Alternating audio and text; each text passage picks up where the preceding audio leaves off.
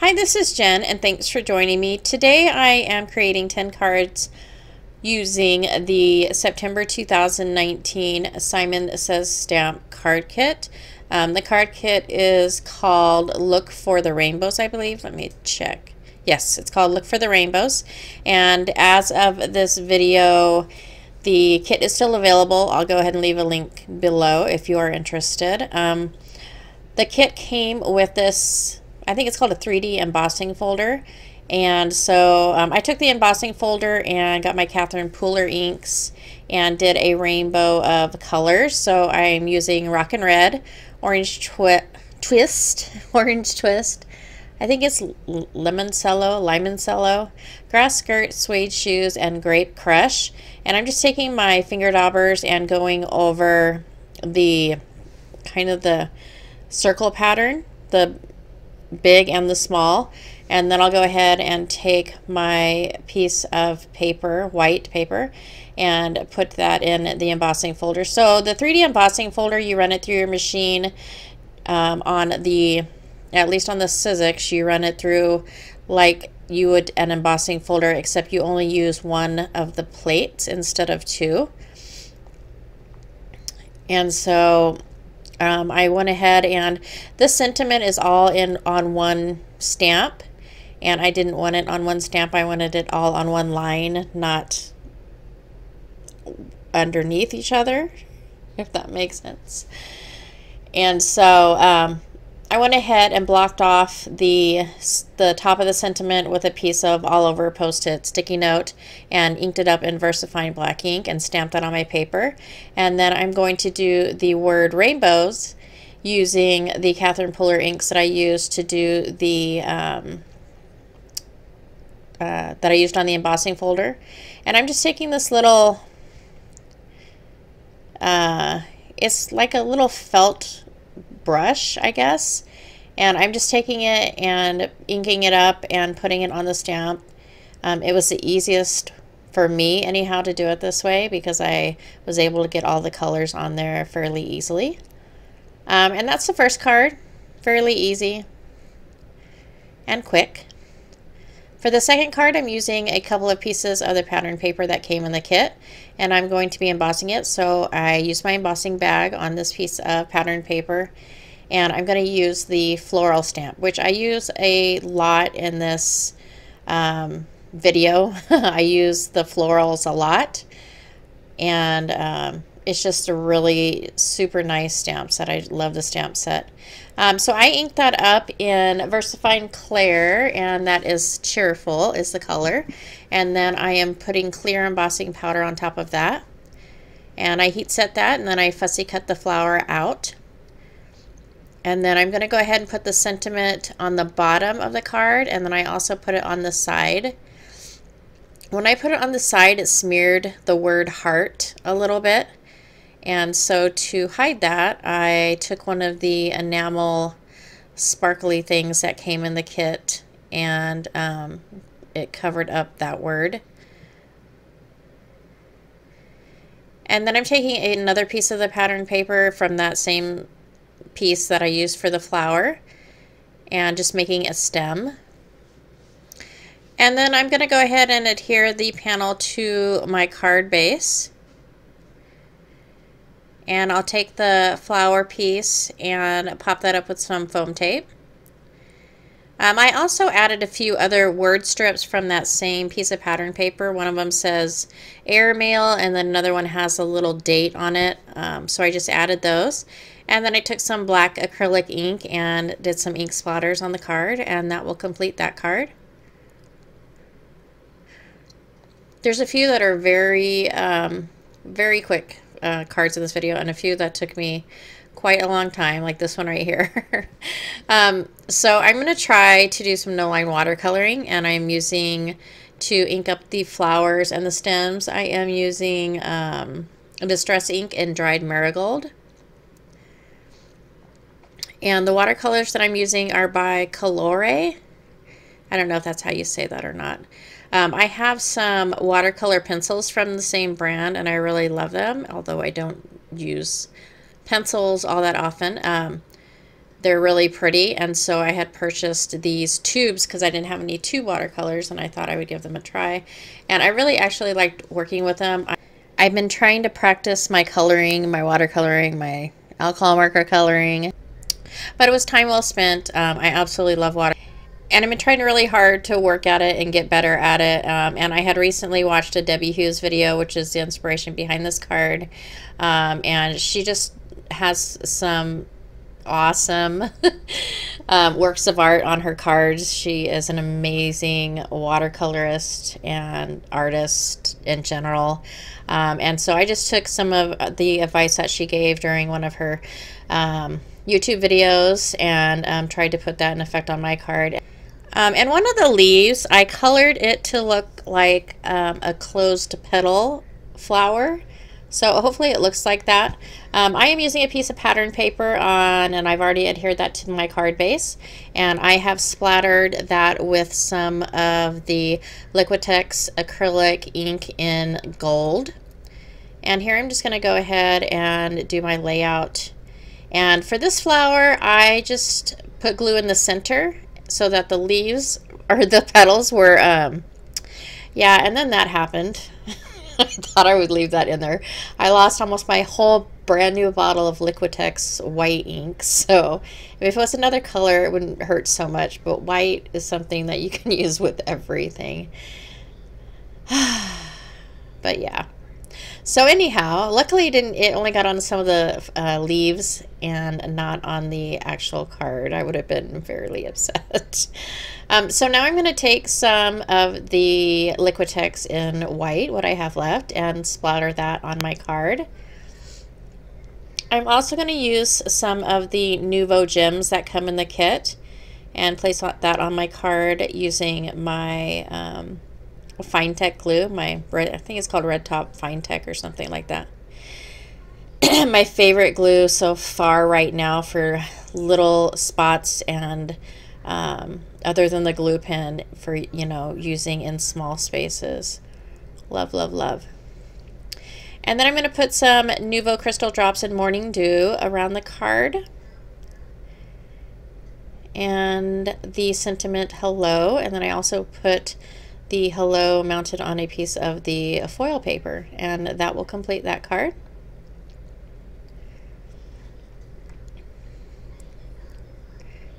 So for the next card I am using my Memento Black ink because I am going to be doing some alcohol marker coloring and I'm using the two kind of I don't know if that's called a bouquet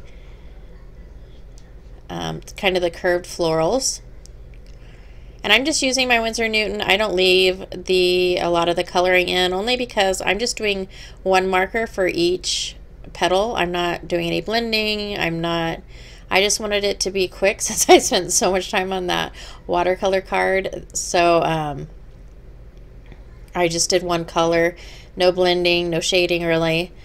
And then I'm going to distress the edges. Oh, and I fussy cut the bouquets out. And then I'm using um, this is antique linen, and I put that around the card panel, which is going to be adhered to the card base. And then I also put that around the floral piece. And then I am inking up in my VersaFine Black ink, thinking of you, the sentiment. And then I popped these floral pieces up with foam tape. And I am just placing those. And then I added a few little um, drops of this Gold Luxe by Nuvo. And then I believe I use another one, the Fairy Wings maybe. And put that around the card. And then I use some sequins from my stash and that will complete that card.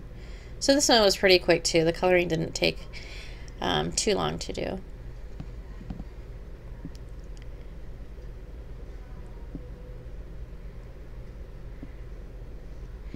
So the next card is a really fun card. I am using these Prima water soluble oil pastels.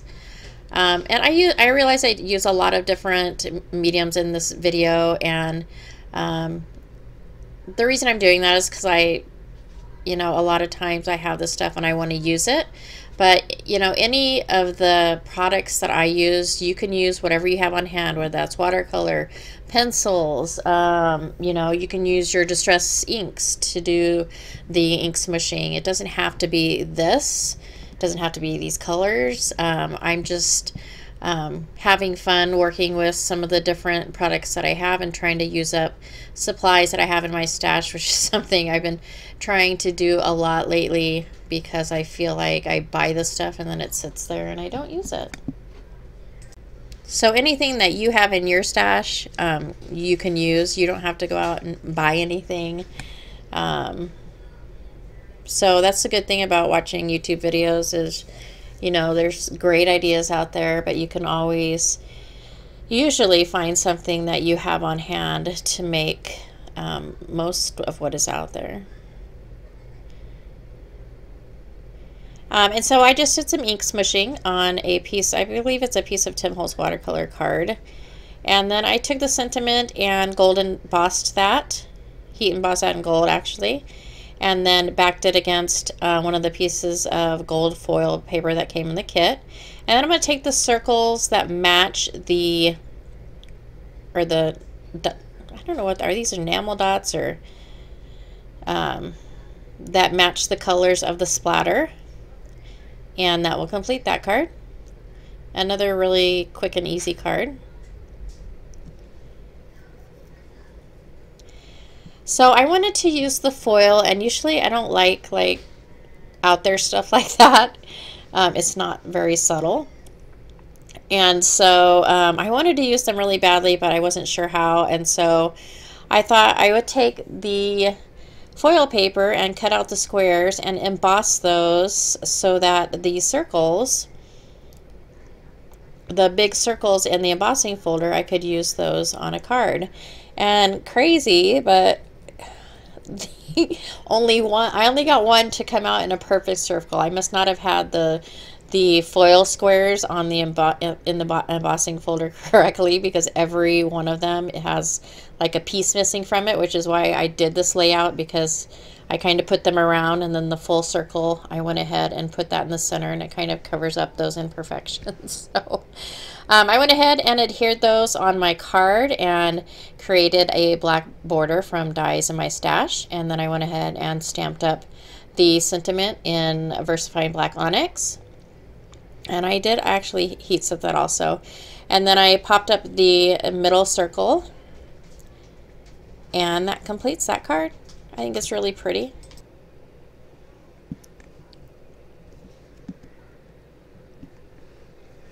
That embossing folder is kind of cool. It does give a 3D effect.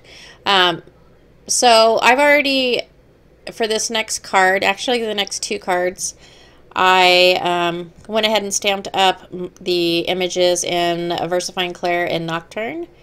And I'm taking my micron pen, and this is a size 03, and I'm just modifying the leaves and the flowers to give it a different look than the other cards that I've made because I use the flowers in a lot of the cards.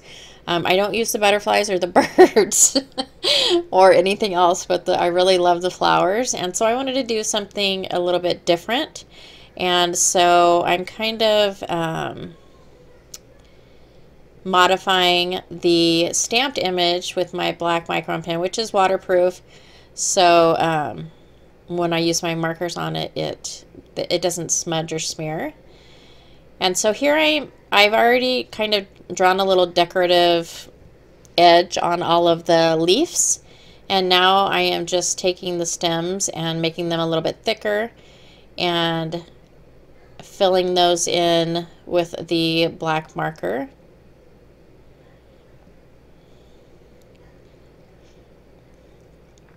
It's just another way you can use your stamps. I don't modify stamps. I like mixing stamps up, but I don't modify them often. Um, I just thought it was fun to do it on this one. So on the flower petals for the this flower, I'm I'm trying to use the lines, some of the lines that are already on the flowers, but I'm basically just drawing a thin line on the edge of the flower and then making um, lines that are going to vary between black and white. So those will be filled in with um, either black or they'll be left white. And I go ahead and speed this up just so you can see what I've done. I probably didn't need to leave all of this in here. Um, and when when I speed my video up this fast, because I think it's like eight times or something, it gives my editing program problems and it freezes. So I'm talking, but I have no idea what part of the video I'm actually on because it's frozen. So there it goes. So for the small little flower petal, um, I just gave it some little kind of scalloped edges. Um, I don't end up using that flower at all in e any cards that I created for this video. And then on the um, last, the bigger flower, I just went ahead and kind of used the lines that were in the flower and made little circles. And for the coloring portion, I'm using my Tombow brush markers. And usually when I use my Tombow brush markers, I am doing um, I'm using them with water. So on this card, I wanted the full color. I didn't want it diluted by water. So um, I am not doing any blending out of the color. I am just using the color straight on the card. And I don't know that I've ever really used my Tombows like this, even though you could totally do it. I always blend them out with water or blend them with another color. Um, and I really love how vibrant the colors are. The only portion that I did use my water pen on was on the um, petals that had that little kind of edge flipped up. After I finish the color on the first flower, I go ahead and take my black Tombow, and this is N15, I believe, and just go and color the edge of the petals where I, I made that um, design, I guess, with my Micron pen. And then I also use the black marker to define some of the lines on the flower petals just to give it a little more character. And then I will move on to the next flower. Um, for this flower, I am going around, I am using my color around the little white dots. I want them to remain white. And then on the leaves, I go ahead and just color in the leaf portion and not the little design that I added, but I will cut that out. So I fussy cut all of the images out. And uh, for some reason, I thought I was going to put all these on one card, and I tried it, and it did not look okay. So um, I end up just using the two flowers, the two bigger flowers, on two different cards. Um, so for this one, I went ahead and I took a piece of the pattern paper that was in the kit. Um, actually, I took two pieces. One of them is one that has um, some really light script on it. And then on the bottom is a portion of the butterfly pattern paper. And then I inked up the stamp or the uh, stem and stamped that on my card. And then I just did the same thing as I kind of did with the flower with the stem in putting a black and white stem and I pop that up. And then I'm going to take my black acrylic ink and make some ink splatters. And then inked up the sentiment which says everything will be okay. And that completes that card. And then for the center of the flower, I used my um, Nuvo Stone Drops in white. And I also splattered some white acrylic paint, I believe, on that card. Um, so for this next card, I went ahead and took the piece of pattern paper with the leaves in, on it. And I stamped up a set of the leaves upside down on the stem and colored that in with my Wink of Stella. That is the green Wink of Stella. And then I filled in the center of this flower with purple Wink of Stella, added the sentiment that says always here for you. And that finishes that card. It was pretty quick because I already had the image um, colored.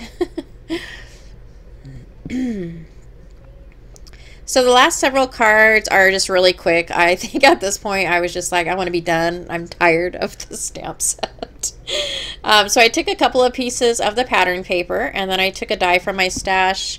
Um, the Altenew die is, uh, it's called Fine Frame Rectangles.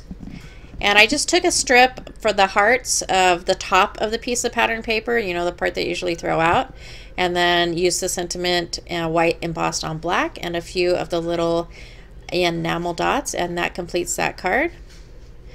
Um, this is another really quick card. I really like the cloud background. I so wanted to use it with the rainbows, but that didn't happen. So I took the sentiment actually from one of the kind of journal cards that come on the reverse side of one of the pieces of pattern paper. And so I put one down, glued one down, and then I popped the other one up. And then I have the birds on what from one of the pieces of pattern paper on the bottom. And that will complete that card. Really super quick and easy card to do. And that is it, my 10 cards. I kind of feel like I ran a marathon, to be honest. Um, but I had a lot of fun with this kit. It is an awesome, awesome kit. Beautiful stamp set. And I hope you had as much fun watching the video as I had creating the cards. Thank you so much for joining me. If you like this video or found it informative, please go ahead and give me a thumbs up. If you would like to subscribe, please go ahead and hit that red subscribe button. Um, I will have all the cards posted on my blog. I also post some of the cards I make on Instagram. Sometimes I post cards on Instagram that I don't make a YouTube video for. So um, if you would like to follow me on Instagram, you can check out my contact information below. Um, that is it for me. Thanks again for joining me, and I hope to catch you later. Thanks so much.